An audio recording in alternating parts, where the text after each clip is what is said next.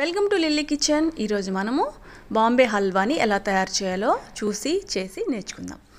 ఈ వీడియోని స్కిప్ చేయకుండా లాస్ట్ వరకు చూడండి. నచ్చితే సబ్స్క్రైబ్ చేసి బెల్ క్లిక్ చేయండి. లైక్ చేసి షేర్ చేసి కామెంట్ తెలియపరచండి. మొదట స్టవ్ వెలిగించుకొని కడాయి పెట్టుకుందాము. తర్వాత ఈ కడాయిలో ఒక ముక్కాలు కప్పు షుగర్ తీసుకున్నానండి. ఒక ఫుల్ కప్పు వాటర్ యాడ్ చేస్తున్నాను. ఈ చక్కెరలో చక్కగా ఈ నీళ్ళల్లో కలిసిపోవాలి. నీళ్ళు పోసేసుకున్నాం కదా చక్కెరలో. ఈ చక్కెర అంతా కలిసిపోవాలండి బాగా కరిగిపోవాలి. ఈలోపు మనము కార్న్ఫ్లోర్ని హాఫ్ కప్పు తీసుకొని కొంచెం వాటర్ యాడ్ చేసుకొని ఉండలు లేకుండా కలిపి పక్కన పెట్టుకుందామండి. చూడండి నేను ఇప్పుడు వాటర్ యాడ్ చేస్తున్నాను. అంటే దీనికి క్వాంటిటీ అంటే ఏం లేదు చక్కగా కలిసిపోవాలి. ఉండలు లేకుండా మనం కలుపుకోవాలి. ఇప్పుడు దాన్ని పక్కన పెట్టేసుకుందాము. ఇప్పుడు మనం ఇది నిమ్మ ఉప్పు అండి అంటే లెమన్ సాల్ట్ అంటారు. లెమన్ సాల్ట్ కనుక లేకపోతే నీవు ఈ నిమ్మ ఉప్పు కనుక లేకపోతే మనం నిమ్మ దబ్బైనా పిండుకోవచ్చు. ఇది ఆప్షను. ఇది ఉంటే ఇది వేసుకుందాం. దీన్ని కొంచెం వాటర్ యాడ్ చేసుకొని ఈ విధంగా కలిపేసి ఈ కడాయిలో మనం చక్కెర కరగబెట్టుకుంటున్నాం కదా ఇందులో పోసేసుకోవాలి. ఎందుకంటే పాకం ముదిరిపోకుండా ఉంటుందన్నమాట. మనం ఇప్పుడు ఏ పాకంతో ఉందో అదే పాకంతో ఉంటుందన్నమాట అందుకోసము. చూడండి ఇది నేను ఇప్పుడు ఈ కార్న్ఫ్లోర్ ఉంది కదా కలిపెట్టుకున్నామే మనం వాటర్ వేసి. దీన్ని చక్కగా ఇలా తిప్పేసుకొని ఈ షుగర్ సిరప్లోకి మనం యాడ్ చేసేసుకోవాలి. ఇది యాడ్ చేసేటప్పుడు కంపల్సరీగా స్టవ్ ఆఫ్ చేసేసుకోవాలండి. ఇది యాడ్ చేసిన తర్వాత మళ్ళీ స్టవ్ మనం ఆన్ చేసుకోవాలి. మీరు గమనించుకోవాలండి. చూడండి నేను ఇప్పుడు స్టవ్ వెలిగించేసుకొని నేను తిప్పుతూ ఉన్నాను. ఈ విధంగా తిప్పుతూ ఉంటే మనకి అడుగంటకుండా చక్కగా మనకి హల్వా బాగా వస్తుంది చూడండి చాలా బాగా తిప్పేస్తున్నాను కదండి. ఇది బాగా కలిసిపోతుంది.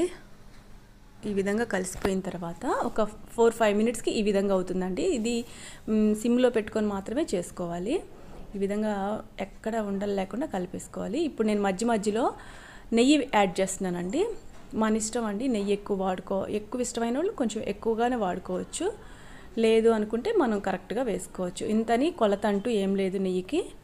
చూడండి ఈ విధంగా నెయ్యి వేసుకొని మధ్య మధ్యలో తిప్పుకుంటూ ఉండాలి. అంటే ఈ దీంట్లో ఈ కార్న్ఫ్లోర్ పిండిలోకి చక్కగా కలిసిపోవాలి నెయ్యి బాగా ఇమిడిపోవాలన్నమాట. ఇప్పుడు నేను ఫుడ్ కలర్ యాడ్ చేశాను. ఫుడ్ కలర్ కూడా మన ఆప్షన్ ఏనండి. చాలా కలర్స్ ఉన్నాయి.